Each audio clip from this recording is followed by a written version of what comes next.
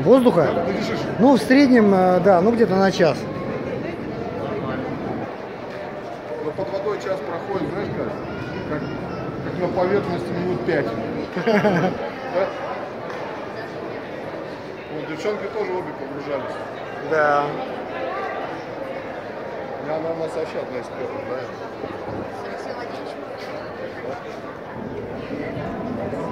Но первый у меня Виталик был, да?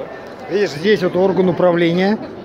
Вот эта кнопка, вот эта кнопка позволяет тебе надувать жилет, а вот эта кнопка, она спуск... стравливает воздух из жилета. Таким образом, да, то есть э, надутие жилета производится всплытие, а вот эта кнопка стравливания. Сюда вот это грузовые карманы, вот здесь, сюда груза делаются.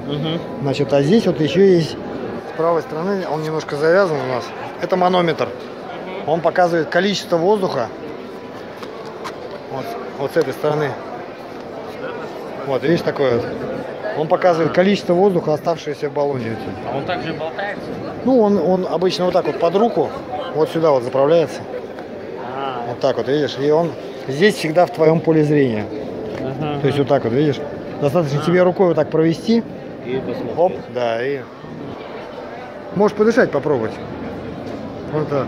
Я, но все равно это не то. Вот мне, я когда